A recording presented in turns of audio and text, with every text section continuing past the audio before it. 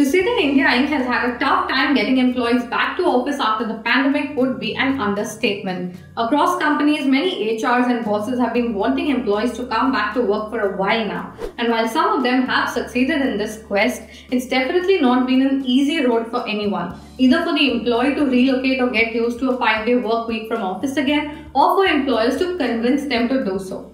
We all know people who are working from home despite offices asking them to come back, or those who are just going a few days a week to mark attendance, or those who are constantly requesting for work from home or hybrid work despite the company being against it. Companies like TCS went to the extent of linking salary hikes to office attendance, and LTIMindtree deducted leaves of people who weren't regularly coming to office.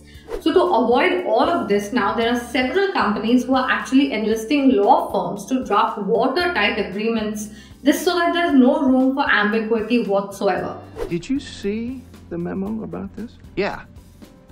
Yeah, yeah, I have the memo right here. Whether you're working from home, whether you're working hybrid, you're working all days a week from office, companies want it on paper whatever your deal is. So now employment agreements actually specify the number of hours a remote employee must stay available in front of the laptop or on calls. Some companies are only including the office address as the workplace and adding confidentiality conditions to restrict remote work. Basically, they're making sure that employees don't assume that work from home is a matter of right. They want to avoid employees' insistence on working from home, and even among themselves, they're setting out eligibility conditions for employees who are allowed to work from home. They're also making the approval process of remote logins more difficult in order to deter people.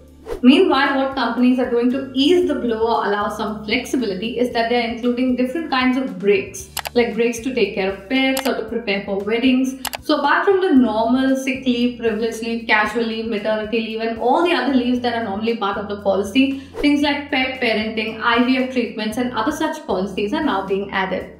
So depending on the contract, this could include flexible working hours or an option to work from their hometowns for a given period of time as part of the policy.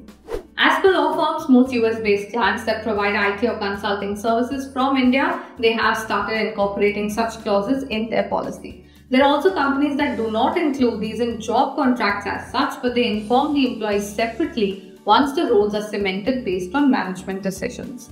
So the space and flexibility of work from home jobs are not just shrinking, but they're also getting more structured. And this can actually be a good thing as well. You can insist that these policies specify the number of hours of work and since they require you to be available for a certain number of hours in front of the laptop, you cannot be held liable for taking time off after that. So in a world where work-life boundaries have been blurred after the pandemic and due to working from home, some method to the madness can actually benefit both the employer and the employee. Hope you enjoyed this video. For more on this story, subscribe to Mint Premium. We've mentioned the link in the descriptor below. Thanks for watching.